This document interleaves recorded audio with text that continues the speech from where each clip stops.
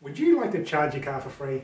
Keep watching in this video. I'm going to tell you a lot of the information you're going to need to know about how to get a free charge of your electric car in Australia.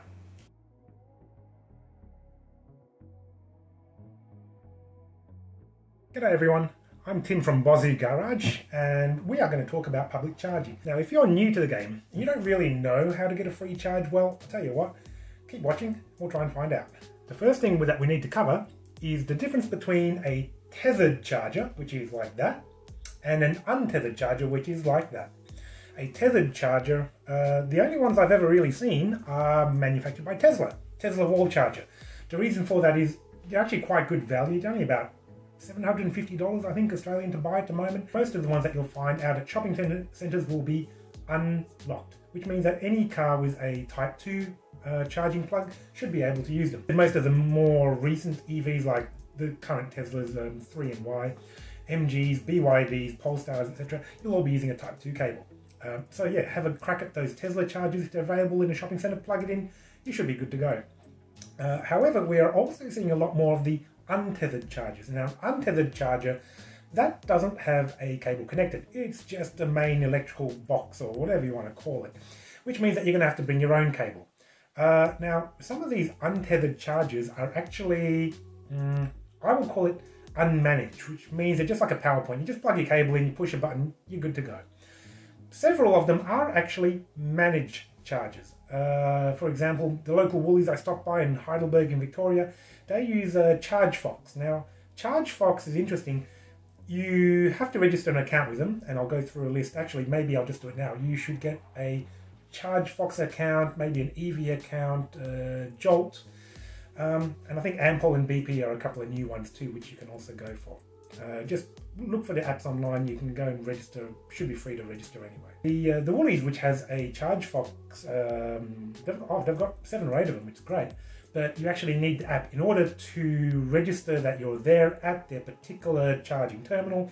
Push a button to start. Um, it's free, mind you, but uh, you, you still need the app in order to do that. So get those apps. You should have them on your phone. Go for it.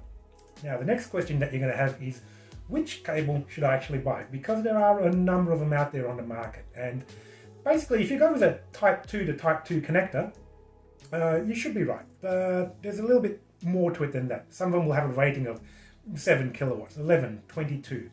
Uh, some will be 2.5 meters, some will be 5. Uh, actually, I'll show you the cable I've got here.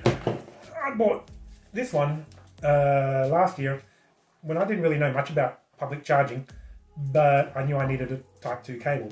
Fortunately, it's been pretty good for me so far, but it is a little, look, it's on the short side. It's two and a half meter cable. I've not had a problem with it yet, but the thing is you can't really get an extension cord for these. So if I wanted a longer one, I just have to buy another five meter one. And oh, look, I might do it anyway. I'll put one in both of the EVs that I got.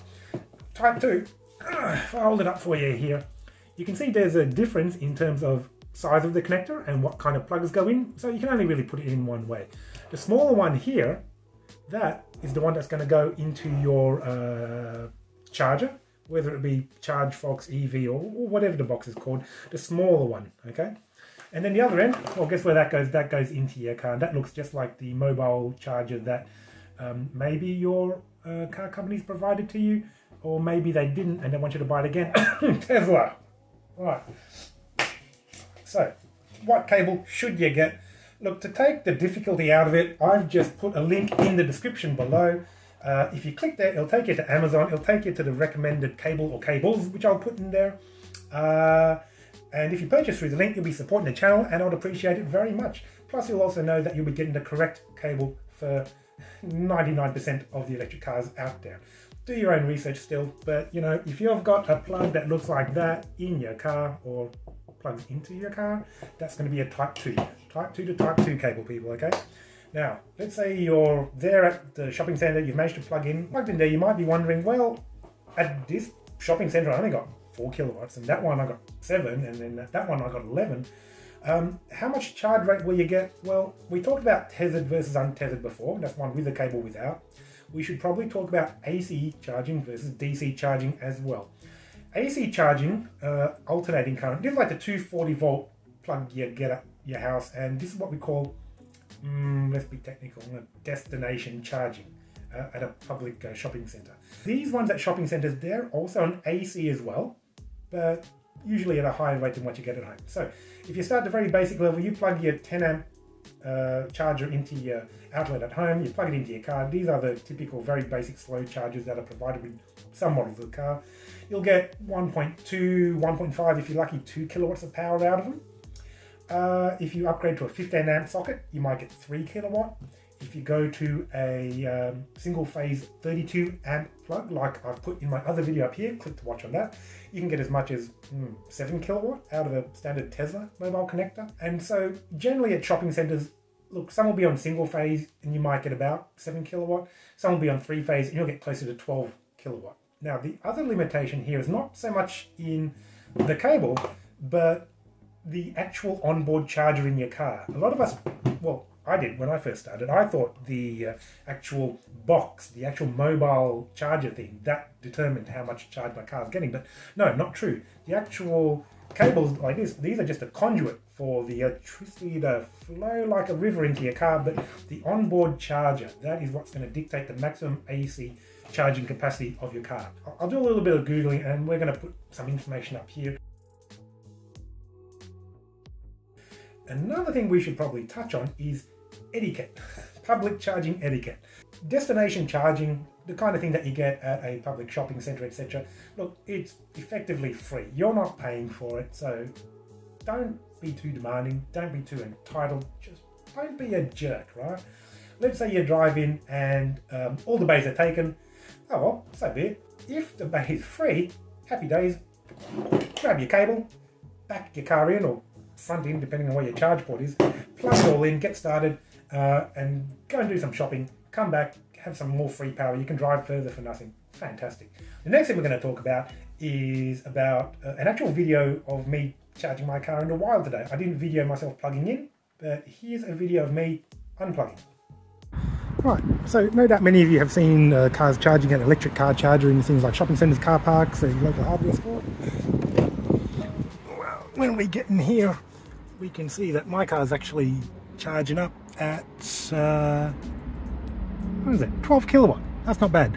The charge rate will actually be determined by your onboard car charger, not by the cable that you buy. But that said, you don't want to buy a cable that's too low in terms of uh, capacity or in length. My cable's a short one, it's only two and a half uh, meters, but I would recommend you get a five meter one if you're going to buy one. All you got to do is get a type 2 connector, this one here, the instructions are on the side.